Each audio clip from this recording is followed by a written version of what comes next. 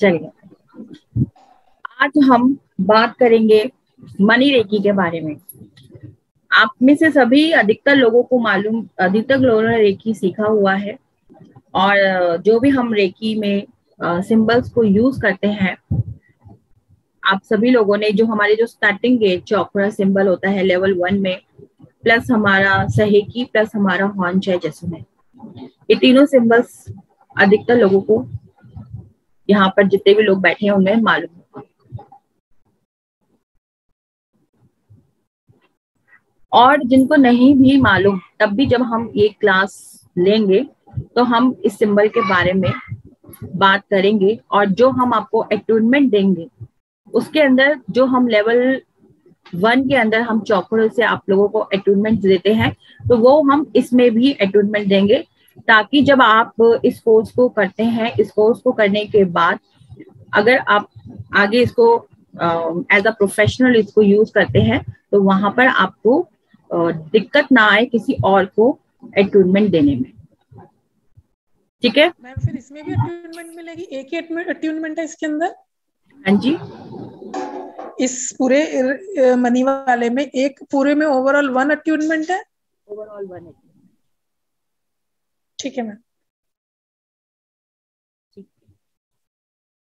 बहुत सारे लोग मतलब देखिए मनी क्या है? मनी एक ऊर्जा है। और ऊर्जा क्या है? एनर्जी क्या है? एनर्जी हमारे पूरे ब्रह्मांड में सिर्फ़ दो ही होती हैं। एक पॉजिटिव होती है और एक नेगेटिव होती है। जिस तरफ़ आप अपनी एनर्जी को बहाओगे एनर्जी उसी दिशा में बहती जाएगी। अगर आप पॉजिटिव तरीके से अपनी एनर्जी को बहाओगे तो एनर्जी पॉजिटिव तरीके से बहेगी। अगर आप एनर्जी को नेगेटिव तरीके से बहाओगे तो एनर्जी आपकी नेगेटिव तरीके से बहाओगे। तो ये आपके ऊपर डिपेंड करता है। अगर हम देखते हैं कि बहुत सारे लोग अमीर होते हैं, लेकिन बहुत सारे लोग अमीर नहीं होते हैं, गरीब होते हैं, ऐसा क्यों होता है? कुछ तो हमारे पूर्व जन्म के संस्कार होते ही हैं। कुछ नहीं होते हैं। हंड्रेड परसेंट वो हमारे जीवन पर असर करते हैं, जो हमारे पूर्व जन्म के संस्कार होते हैं। लेकिन हम अपने पूर्व जन्म के संस्कारों के लिए कुछ नहीं कर सकते, क्योंकि अब वो हमारा पास्ट है, जिसे हम बदल सकते हैं, लेकिन उसके लिए भी हमें बहुत सारी टेक्निक्स को यूज़ करना पड़ता है। एक नॉर्मल तरीके से हम उसको नहीं बदल सकते। तो इस, वो हमारी ज़िंदगी पे असर करते हैं, लेकिन हमें अपने आप को पॉजिटिव रखकर उन चीज़ों से लड़ना है और अपने जीवन को आगे बढ़ाना है। यही हमारे जीवन का जो उद्देश्य होना चाहिए, वो यही है। तभी आप अपनी ज़िंदगी में तरक्की कर सकते हैं, तभी आप अपने जीवन में आगे बढ़ सकते हैं। तो मनी रेखी का हमारा यही सिद्धांत है according to law of attraction जो हम ब्रह्मांड को देते हैं, वही ब्रह्मांड हमें लौटाता है। हम उसको दस रुपए देंगे तो वो हमें, उसको टेन टाइम्स मल्टीप्लाई करके हमारे जीवन में हमें वो वापस करता है। तो सबसे पहले इंपॉर्टेंट चीज़ जो होती है, वो ये है कि आपकी मनी के साथ में फीलिंग कैसी है। आप उसको कैसे फील करते हैं? आपकी मनी के साथ जो फीलिंग है, वो ही बताएगी कि आप अपनी ज़िंदगी में कैसे पैसे को अर्जित कर पाते हैं या फिर नहीं कर पाते हैं, या फिर कितना अर्जित कर पाते हैं। इसी से पता चलता है कि आप मनी को कितना अट्रैक्ट करते हैं। आपने देखा होगा कि बहुत सारे ऐसे लोग होते हैं जो कि बहुत रिच होते हैं और वो बहुत दान पुण्य करते हैं। वो बहुत दान पुण्य करते हैं, लोगों को सेवा करते हैं, लोगों को भोजन खिलाते हैं उनके लंगर भी चलते हैं। मतलब बहुत इस तरीके से वो सोसाइटी को देते हैं, एक पॉजिटिव फीलिंग के साथ। और जब वो सोसाइटी को पॉजिटिव फीलिंग के साथ देते हैं तो ब्रह्मांड भी उनको पॉजिटिव फीलिंग के साथ देता है। लेकिन जो व्यक्ति के पास में पैसा नहीं है, उस व्यक्ति की सोच उस मुकाम तक जा ही नहीं पाती। उसकी सोच बहुत छोटी हो जाती है और जब उसकी सोच बहुत छोटी हो जाती है तो वो उस लेवल पर पहुँच ही नहीं पाता। तो सबसे बड़ी बात यह कि हमको उस सोच पर काम करना है। अपने उस सबकॉन्शियस माइंड को ट्रेन करना है कि हम पैसे को आसानी से अट्रैक्ट कर सकते हैं। और जो चीज़ हमारे पास है, उसको हमें ईश्वर को धन्यवाद देना है। ग्रेटिट्यूड की हमारे अंदर फीलिंग होनी चाहिए। प्लस सेवा भाव की फीलिंग होनी चाहिए।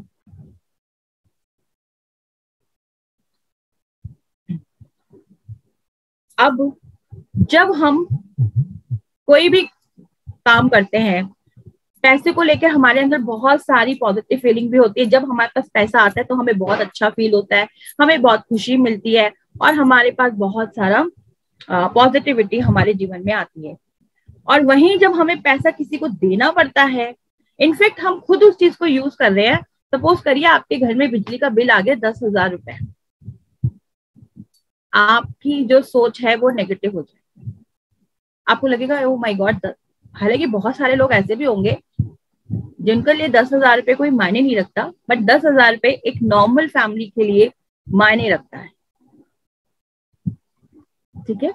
तो हमारी सोच बदल जाएगी। हमें लगेगा ओ माई गॉड दस हज़ार रुपए बिल आ गया ओ हो बहुत ज़्यादा हम उसके लिए नेगेटिव हमारे अंदर फीलिंग आ जाएगी। अगर बाई चांस कोई बीमार हो गया, आप हॉस्पिटलाइज हो गए हॉस्पिटल में आपका दस लाख रुपए का खर्चा आ गया, बीस लाख का खर्चा आ गया, आपकी फीलिंग नेगेटिव हो जाएगी। हॉस्पिटल का मुँह तो खैर कोई देखे ही ना, लेकिन मैं जस्ट एक आपको बता रही हूँ कि आपकी फीलिंग वहाँ पे नेगेटिव हो जाएगी।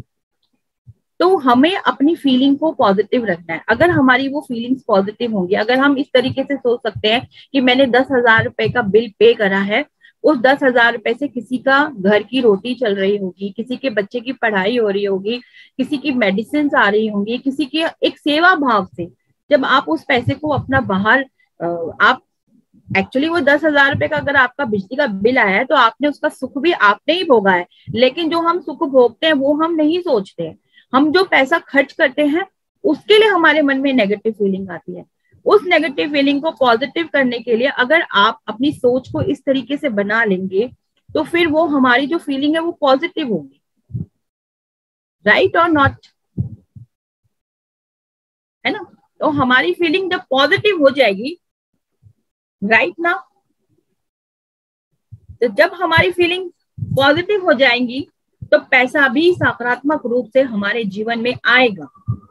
ब्रह्मांड हमको समझेगा कि हम इस लायक हैं कि हमारे पास पैसा आए। बहुत सारे लोग ऐसे होते हैं जिनके पास बहुत पैसा होता है, लेकिन वो फिर भी हमेशा रोते ही रहते हैं। और बहुत सारे लोग ऐसे होते हैं जिनके पास पैसा बहुत कम होता है, लेकिन वो हमेशा खुश रहते हैं। और आप देखेंगे कि जो लोग खुश रहते हैं, उनको बीमारियाँ भी नहीं होती। वो हँसते खेलते अपनी ज़िंदगी जीते हैं। और जो लोग दुखी रहते हैं, रोते रहते हैं, करोड़ों, लाखों अरबों कमाने के बाद भी या तो उनका पैसा बीमारियों में चला जाता है, या तो उनके घरों में इतनी लड़ाइयाँ होती हैं, बच्चे बंटवारा कर लेते हैं, उनके जाते ही मकान बेच देते हैं यू नो इस तरीके से चीज़ें होती हैं। तो ये सारी चीज़ें आपकी सोच पर निर्भर करता है। तो इसलिए आप अपने पैसे को हील करें। अब आप अपने पैसे को हील कैसे करेंगे? तो उसका जो सबसे आसान तरीका मैं आपको बताती हूँ, जब भी आप किसी को पैसे देते हैं इवन अगर आप एक रिक्शे में जा रहे हैं, आप रिक्शे वाले को भी पैसे दे रहे हैं, तब भी आपने उस पैसे को अपने हाथ में रखना है। और जो लोग यहाँ पे जिन्होंने रेकी सीखा हुआ है, वो उसको चौकरा बना के उसको, जो हम आगे सीखेंगे, चौकरे सिंबल मैं आपको बताऊँगी, सिखाऊँगी।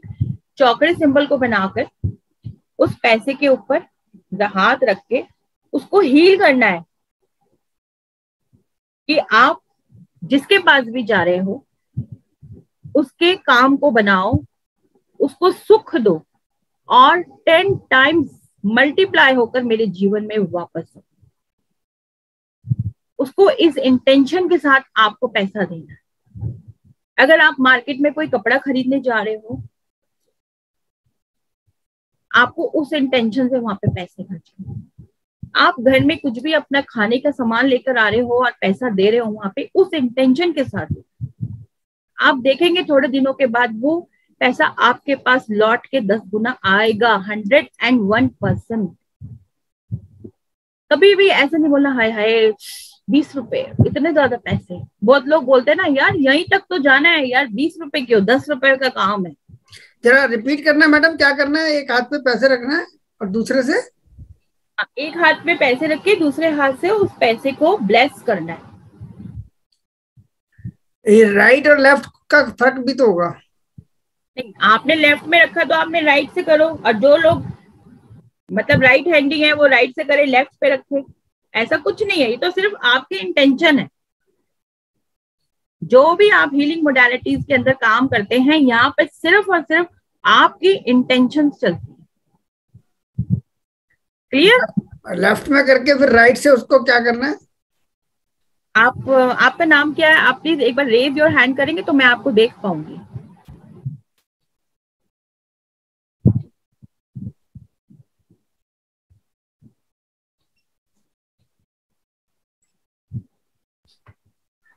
कौन बोल रहे थे? रविंदर गुप्ता। अच्छा अच्छा रविंदर जी। हाँ। क्या क्वेश्चन था? हाँ आपने आपने रेकी सीखा हुआ है? नहीं।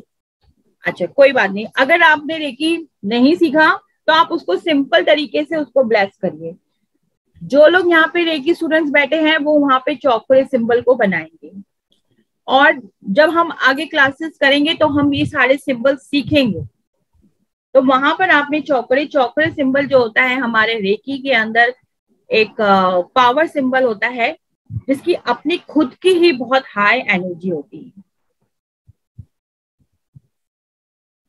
ठीक है?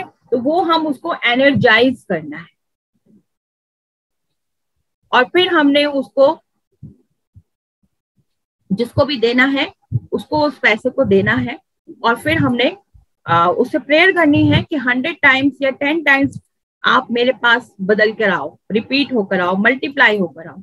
और आप देखेंगे कि कुछ दिनों के बाद डिपेंड करता है आपके इंटेंशन के ऊपर, आपकी एनर्जी के ऊपर। अगर आपकी इंटेंशन बहुत ज़्यादा पॉजिटिव है प्योर है तो वो पैसा आपके पास एक दो दिन में ही लौट के आ जाएगा। और कभी कभी वो पैसा आपके पास थोड़े टाइम के बाद भी लौट के आ सकता है।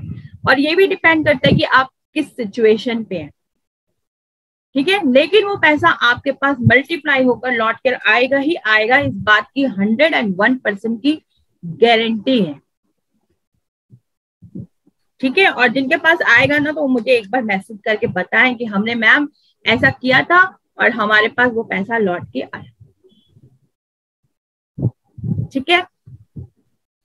अब कैसे हमने अपने जीवन में जो सिक्स स्टेप्स ऑफ़ वेल्थ हमने कैसे अपने जीवन में वेल्थ को अट्रैक्ट करना है, उसके मैं आपको thank you Parvesh Kumar ji thank you उसको हमने कैसे अपने जीवन में अट्रैक्ट करना है, उसके मैं आपको सिक्स स्टेप बताती हूँ। उसको चाहे तो आप अपने पेपर कॉपी रखे उस पर लिख लें।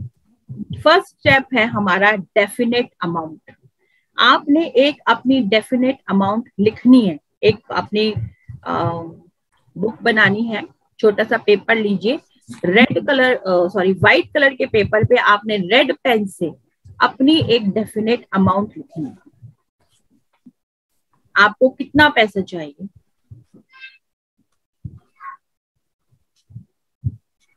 उसके बाद उस पैसे को आपने कहीं पे भी, या तो आप किसी कॉपी के अंदर रख लीजिए, वो सॉरी उस पेपर को किसी कॉपी पे रख लीजिए, या कहीं भी ऐसी जगह पे रखे जहाँ आप उसे देख पाए। या किसी वॉल के ऊपर उसको पेस्ट कर लीजिए, है ना? कहीं पे भी, कि आप उसको देख सकें। उसके बाद जो आपका सेकंड स्टेप है सेकंड स्टेप ये है कि आपने उसके एक्सचेंज में यूनिवर्स को क्या देना है, ये आपकी प्लानिंग होनी चाहिए। उसके एक्सचेंज में यूनिवर्स को क्या देना है मीन्स कि अगर आपने एक स्पेसिफिक अमाउंट लिखी है कि मुझे one lakh rupees per month earn करने हैं तो मैं उन एक लाख रुपए के लिए क्या करूँगा? ऐसा मेरे पास क्या है कि मैं उस एक लाख को अपने जीवन में आकर्षित कर सकता हूँ? ऐसा मैं क्या यूनिवर्स को दू? क्या मैं कितने घंटे में काम करूँ? ये आपको अपने प्लानिंग करनी पड़ेगी सारी चीज़ों की। और जो आप प्लानिंग करेंगे, उस पर आपको अमल भी करना पड़ेगा। जादू उन्हीं के जीवन पे होते हैं जो जादू पर विश्वास करते हैं। ठीक है? ऐसे किसी के जीवन में जादू नहीं होते। और विश्वास करने के लिए आपका बिलीफ सिस्टम स्ट्रांग होना चाहिए। और बिलीफ सिस्टम को स्ट्रांग करने के लिए प्रैक्टिकल आप क्या अपने जीवन में दे रहे हैं, वो चीज़ें इंपॉर्टेंट करती हैं। तो ये सारी चीज़ों को आपको ध्यान में रखना है कि आपको स्पेसिफिक होना चाहिए कि आपको इतनी अमाउंट चाहिए। आपको स्पेसिफिक होना चाहिए कि आपने एक्सचेंज में यूनिवर्स को क्या देना है। टाइम बाउंड आप उसमें लिखिए कि मुझे एक महीना, आज के तारीख है? आज 21 अक्टूबर है। तो 21 नवंबर तक मुझे इतना पैसा चाहिए, मुझे इतना पैसा अर्जित करना है। टाइम बाउंड दीजिए। उसके ऊपर अपनी स्ट्रेटेजी पे काम करिए प्लानिंग करिए, पूरे प्लान के साथ काम करिए। देखिए, अगर आप प्लान के साथ काम नहीं करेंगे तो आपका सबकॉन्शियस माइंड आपका, आपको नहीं एक्टिव करेगा। आपके सबकॉन्शियस माइंड में वो बातें नहीं जाएँगी। तो आप अपने प्लान बनाइए। उस पर एक्शन लीजिए। प्लान पर आपने, अपने टारगेट को आपने किस तरीके से अचीव करना है, वो आपकी सारी प्लानिंग होनी चाहिए। उस प्लानिंग के ऊपर आपका पूरा का पूरा एक्शन होना चाहिए। एक लाख रुपए मैंने आपको बताया। हो सकता है आप एक लाख से ऊपर हो और आप चाहते हैं कि आप अपने जीवन में दो लाख रुपए कमाए या चार लाख रुपए कमाए तो आप उसके लिए प्लानिंग करें। हो सकता है कि अभी आप सिर्फ़ दस हज़ार रुपए ही कमा रहे हो और आप चाहते हैं कि आपके बीस हज़ार हो जाए, पच्चीस हज़ार हो जाए, या तीस हज़ार हो जाए, या पचास हज़ार हो जाए तो आप उसके लिए प्लानिंग करें। ये डिपेंड आपकी अपनी पर्सनल सिचुएशन पर होगा। ठीक है ना?